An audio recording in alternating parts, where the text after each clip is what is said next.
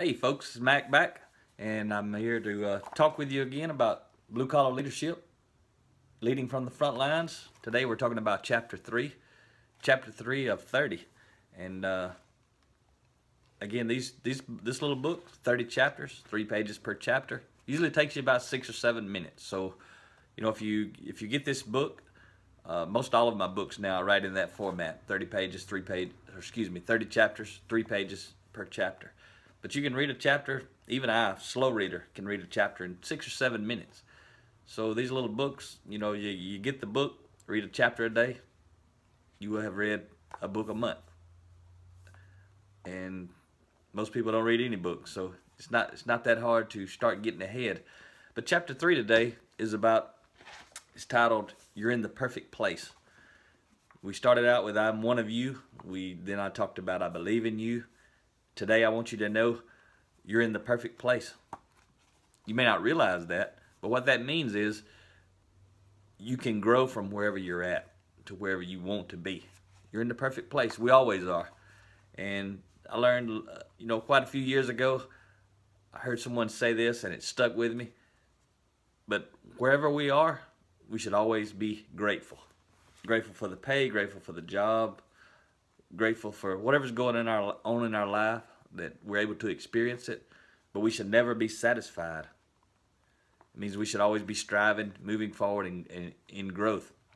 So when we talk about you're in the perfect place, you're exactly where you're supposed to be, but not where you have to be. So if you don't like where you're at, change it. Don't complain about it. Complaining about it's going to ensure you're still there tomorrow. But change it. Do something about it. The opening quote for this chapter, I want to read it too. It says, an, ed an educated person is not the one with the most knowledge. An educated person is the one who is willing to reflect, evaluate, and modify his most cherished beliefs when a new idea comes along. And that was written by Mr. Christian Simpson. And so I hope throughout this series, especially if you're a blue collar worker, but anybody, throughout this series, I hope you change what you believe. Because I want you to have a better life. I probably want you to have a better life better than you want to have a better life. I mean, I'm taking my time to read and grow and learn so that I can help others have a better life. Most people won't even do that for themselves. You know, I started out doing that literally in 2008. I wanted to be better. I wanted to mainly be better when I was working, leading lean teams uh, through process improvement. If you don't know, I have over 11,000 hours leading lean teams, Kaizen events, those sort of things. So I started working on me for the, about the first four years. I was working on me relative to being a, a, a better lean consultant, doing a better job with the people and the teams.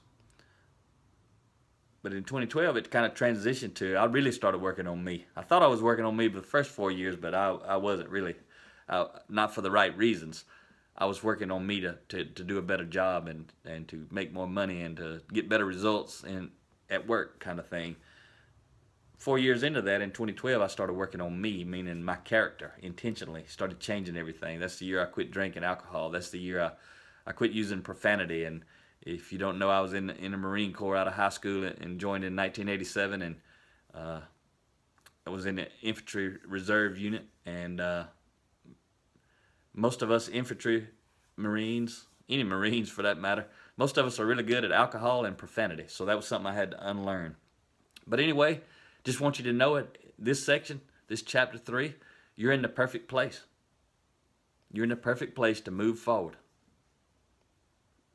So make it happen, or someone else will.